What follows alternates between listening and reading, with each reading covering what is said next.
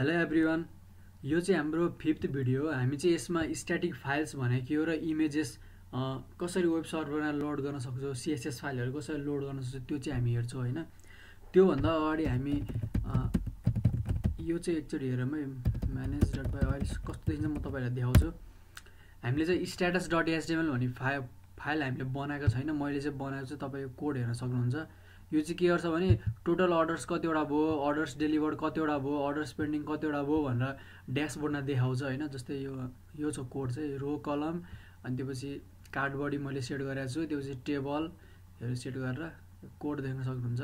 Type type गर्दा हुन्छ यो कोड होइन। यही हो। अब यसलाई हामी सिएसएस डिजाइन गर्छौँ। अब हामी जस्तै अब ज्याङ्गोमा चाहिँ के हुन्छ भने जस्तै CSS file JS file images file चाहिँ हामी एउटा स्ट्याटिक भन्ने फोल्डरभित्र बनाउँछौँ होइन? जस्तै त्यो चाहिँ कहाँ बनाउँछ भनेदेखि त्यो चाहिँ हामी रुट फोल्डर नै बनाउँछौँ जस्तै यो मेरो फोल्डर हो होइन? यहाँ चाहिँ हामी स्ट्याटिक भन्ने फोल्डर बनाउँछौँ जस्तै एसटिएटिआइसी स्ट्याटिक एकचोटि चेक गरेँ मेरो आवाज आयो या होइन आवाज आयो होला सायद। स्ट्याटिक भन्ने फोल्डर बनाउँछ। अब यहाँ चाहिँ हामी सिएसएस फाइलहरू राख्छौँ होइन जस्तै अब मेरो कहाँ छ भनेदेखि स्ट्याटिक भन्ने यहाँ छ। अब म चाहिँ यहाँ के गर्छु भने एउटा सिएसएस भन्ने फोल्डर बनाउँछु। सिएसएस त्यसपछि अब अब अब स्ट्याटिकभित्र फेरि म अर्को फोल्डर बनाउँछु जो त्यो चाहिँ नाम म इमेजेस भनिदिन्छु होइन बाहिर चेक गरेर मिल्यो कि मिलेन। जस्तो स्ट्याटिकभित्र सिएसएस र इमेज अब सिएसएसभित्र म चाहिँ अब मेन डट सिएसएस भन्ने एउटा फाइल बनाउँछु। मेन डट सिएसएस यो बन्यो होइन। यहाँ चाहिँ हामी त्यो स्ट्याटस डट एसटिएमएललाई हामी उयो गर्छौँ। जस्तै अब एकचोटि सर्भर रन गरेर कस्तो देखिन्छ अहिले चाहिँ है।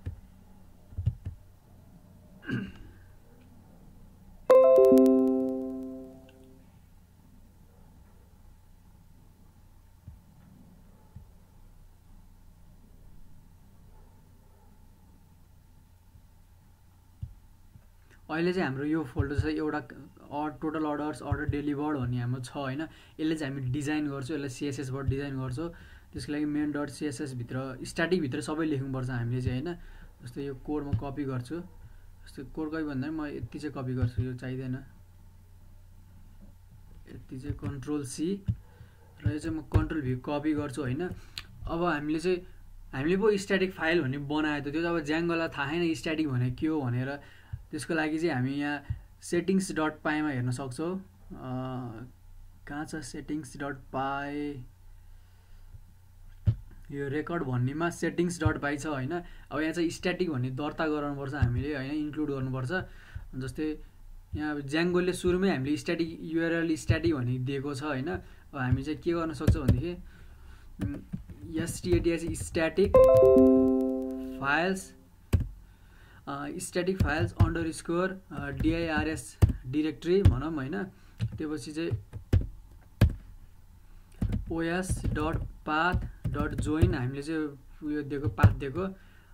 त्योपछि OS dot path dot join यो दिएपछि चाहिँ हामीले अब BS base under score directory होइन कमा त्योपछि हामी यसलाई स्ट्याटिक भनिदिन्छौँ। यो भनेको चाहिँ के हुन्छ नि अब यो अब चाहिँ अब चाहिँ हामीले जे गऱ्यो होइन यहाँ चाहिँ अब स्ट्याटिक भन्नेमा जान्छ जस्तै स्ट्याटिक फाइल बनायो नि यो जान्छ होइन। अनि त्यसपछि गएपछि कन्ट्रोल सेभ गरिदिउँ होइन। कन्ट्रोल सेभ गरेपछि जस्तै अब अब मेन डट सिएसएस यो चाहिँ अब लिङ्क गराउनु पऱ्यो नि त। यो लिङ्क चाहिँ कहाँ गराउनु भनेदेखि हामी यो ड्यासबोर्डमा गराउने हो। यो जस्तै यो हामीले जुन देखेको नि यो सबै होमको ड्यासबोर्ड हो नि त। त्यही भएर यो चाहिँ ड्यासबोर्डमा जान्छ। जस्तै यो मैले इन्क्लुड गरेर राखेको छु तपाईँ इन्क्लुड गर्न सक्नुहुन्छ होइन? Include account slash status dot STML यो चाहिँ ब्लक कन्टेन्टभित्र लेख्नु होइन? त्यो गरेपछि चाहिँ सिएसएस भन्ने फाइल आयो।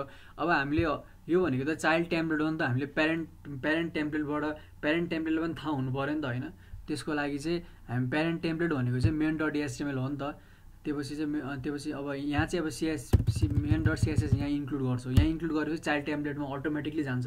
किनभने कसरी जान्छ भनेदेखि जस्तै ड्यासबोर्डमा चाहिँ हामीले यो एकाउन्ट्स डट एचटिएमएल भनेको छ नि त यो एक्सटेन्ड गरेको नि त प्यारेन्ट टेम्प्लेटबाट त्यही भएर चाहिँ मेन डट सिएस सिएसएस चाहिँ प्या प्यारेन्ट टेम्प्लेटमा प्यारेन्ट टेम्प्लेटमा गएपछि अटोमेटिकली त्यहाँ जान्छ होइन? जस्तै अब यो link rel is equals to style style sheet त्यसपछि HRF HRF HRF is equals to यसलाई क्लोज गर्न सक्छ एचआरएफमा चाहिँ हामी के दिन्छौँ नि यो ज्याङ्गोको तरिका यसरी हो है। जस्तै पर्सेन्ट पर्सेन्ट अब यो हामी स्ट्याटिक फाइल लोड गर्ने हो नि त स्ट्याटिक अब यसको पाथ पाथ दिने नि त पाथ भनेको त सिएसएसमा छ नि त सिएसएसभित्र गएर मेन डट सिएसएसमा जा भन्छ होइन? मेन डट मेन डट सिएसएसमा जा भन्छ। अब यसलाई अब यो चाहिँ लोड भयो। अब यसलाई स्ट्याटिक अब स्ट्याटिक वेमा लोड गर्नको लागि चाहिँ हामीले सुरुमा चाहिँ एसटिएमएलको माथि चाहिँ एउटा यो लेख्नुपर्छ। यो नलेखिकन चाहिँ हामी स्ट्याटिक फाइलले रन गर्दैन। त्यो चाहिँ लोड स्ट्याटिक भन्ने दिनुपर्छ होइन? अबमा चाहिँ हाम्रो रेडी छ है लोड गर्नको लागि। लोड स्ट्याटिक भन्यो होइन? रेडी भयो। अब एकचोटि लोड गरेर हेरौँ। रेडी भयो कि भएन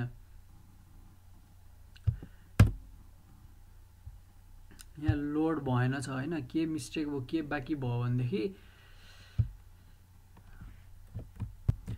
हाम्रो चाहिँ यहाँ के मिस्टेक भएको छ भनेदेखि सरी यहाँ जस्तै सिएसएसभित्र मेन डट सिएसएसमा जाने हो नि त स्ल्यास गर्ने हो नि त।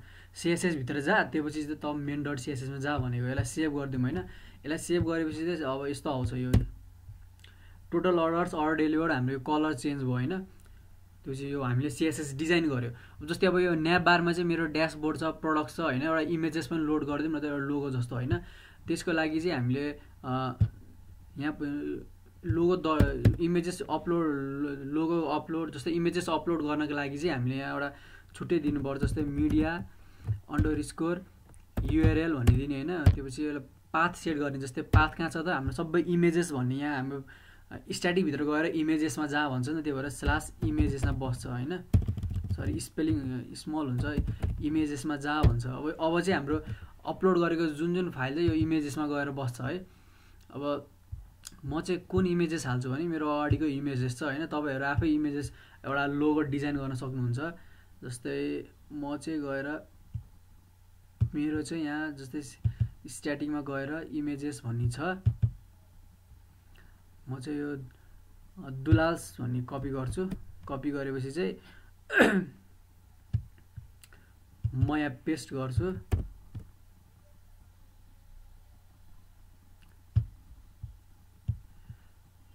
त्योपछि अब यो चाहिँ हामी यो हामी त न्याप बा न्याप बारमा सेट गर्छौँ नि त। यसको लोगो चाहिँ न्याप बारमा राख्छौँ। त्योपछि न्याप बारमा हामी जानु पऱ्यो होइन? न्याप बार कहाँ छ भनेदेखि हाम्रो न्याप बार यहाँ छ। त्योपछि अब न्याप बारमा यहाँ राख्छौँ जस्तै। Image SRC is equals to यो दिउँ होइन। अब यहाँ चाहिँ हामीले के गर्नुपर्छ भनेदेखि त्यो अहिलेको ज्याङ्गेकै तरिका हो। यो तरिका लोड गर्न सक्छौँ जस्तै यो भनेको स्ट्याटिक हो नि त। स्ट्याटिक अब कहाँ जहाँ हुन्छ त? इमेजेसभित्र जानु पऱ्यो सुरुमा। इमेजेस इमेजेसभित्र गएर हाम्रो दुलाल्स डट पिएनजी भन्ने छ यहाँ। दुलाल्स डट पिएनजी डियुएलएलएस पिएनजी भयो होइन अब यसले त यत्तिकै लोड गर्दैन नि जस्तै अब हामीले अघि main dot SML load static भन्ने गरेको थियो नि त। त्यसै गरी यहाँ पनि लोड स्ट्याटिक भन्ने गर्नुपर्छ हामीले किनभने जहाँ जहाँ सिएसएस फाइल सेट भएको जहाँ जहाँ इमेजेस सेट भएको जहाँ जहाँ जेएस हामी युज गर्छौँ त्यहाँ चाहिँ लोड स्ट्याटिक भन्नु पर्छ। किनभने हामी स्ट्याटिक फाइलभित्र छ नि त त्यो भएर माथि चाहिँ हामी यहाँ पनि इमेजेस युज भएको कारणले गर्दा यहाँ चाहिँ हामी लोड स्ट्याटिक गर्छौँ। यो नगरिकन लोड हुँदैन। लोड स्ट्याटिक भन्छ। लोड स्ट्याटिक भनेपछि अब एकचोटि हेरौँ है। इमेजेस आउनुपर्ने हो होइन? जस्तो इमेज आयो। मेरो इमेजेस अलिक ब्लर भएको छ। होइन? तपाईँहरू आफ्नो इमेजेस बनाउन सक्नुहुन्छ। यो चाहिँ हामीले स्ट्याटस डट एसएमएल कसरी upload status dot SML file बनायो त्यसलाई चाहिँ सिएसएस डिजाइन गऱ्यो त्यसपछि इमेजेस राख्यो त्यो चाहिँ सबै हामी चाहिँ स्ट्याटिक भन्ने फोल्डरभित्र गऱ्यो अनि स्ट्याटिक फोल्डरलाई चाहिँ हामी लोड स्ट्याटिक भन्ने दियो त्योपछि सेटिङ्स डट पाइमा चाहिँ यो स्ट्याटिक फाइल्स भन्ने यो यो दुइटा चाहिँ हामीले राख्यो होइन त्यो गरेपछि मात्रै हाम्रो चाहिँ वेब सर्भरमा चाहिँ सिएसएस डिजाइन हुन्छ र इमेजेस अपलोड गर्न सक्छौँ। अब आउने पार्टमा चाहिँ हामी के गर्छौँ भने डेटाबेस जस्तै डेटाबेस चाहिँ कसरी हामी मोडलमा क्वेरी गर्न सक्छौँ होइन? ड्यासबोर्डमा कसरी देखाउन सक्छौँ त्यो चाहिँ हामी हेर्छौँ अहिलेको लागि चाहिँ। Thank you